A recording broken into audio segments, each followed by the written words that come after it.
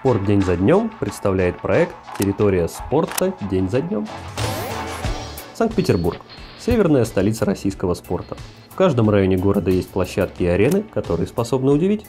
Мы расскажем, где можно полноценно тренироваться, не отходя далеко от дома или от места вашей работы.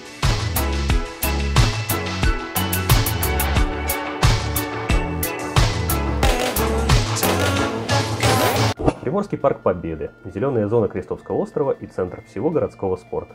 Здесь проходят марафоны, благотворительные забеги и спортивные фестивали на протяжении всего года. В туристический сезон белых ночей события проходят чуть ли не каждый день.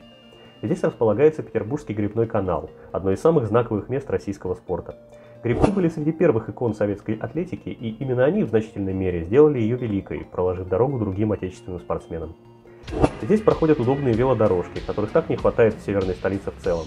Их становится все больше, и когда Петербург станет полностью комфортным велогородом, мы будем знать, что все начиналось с Крестовского острова. Приморский парк – просто удобное место для пробежки или тренировки, особенно в группах. Часто во время очередного, скажем, марафона видишь в парке группу бегунов, которые движутся в противоположном направлении. А это обычные любители бега вышли потренироваться и отчаянно ищут пути обхода соревновательной трассы. И, конечно, по Приморскому парку Победы идут болельщики, фанаты, которые движутся к главному стадионному кластеру города.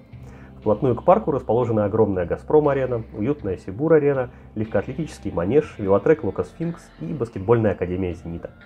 В разгар спортивного сезона, особенно в середине осени, как раз как сейчас, вы можете встать на одном месте, на площади у «Газпром-арены», несколько раз оглядеться и увидеть представителей всех основных олимпийских видов спорта, от футбола и волейбола до фехтования и борьбы. Все они приходят сюда. В результате сложилась уникальная для северной столицы ситуация. Приморскому парку Победы просто не нужны зоны воркаута и спортивные площадки, чтобы быть центром доступного спорта. Достаточно здешних стадионов.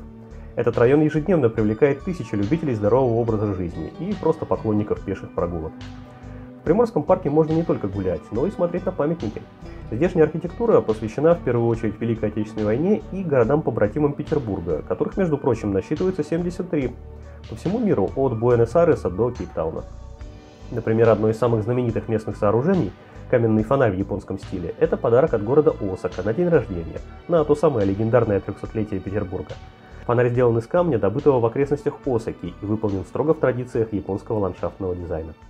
Как раз мимо этого фонаря очень любят прокладывать трассы для бегунов – больше их привлекает только фонтан на центральной аллее, вокруг которого всегда располагаются палаточные городки для всяческих фестивалей. По Приморскому парку Победы проходит значительная часть трассы марафона «Белые ночи». Удивительного марафона, который стартует поздно вечером и проходит ночью, а заканчивается ранним утром, с рассветом.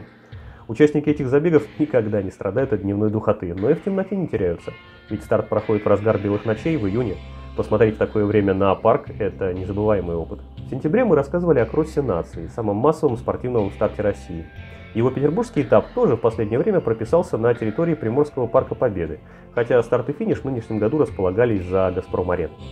А под пешеходным мостом, который ведет к стадионам от метро «Зенит», располагается небольшой скейт-парк.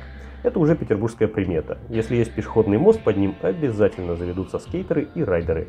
И эти площадки практически никогда не пустуют. Самое интересное, что все это только начало.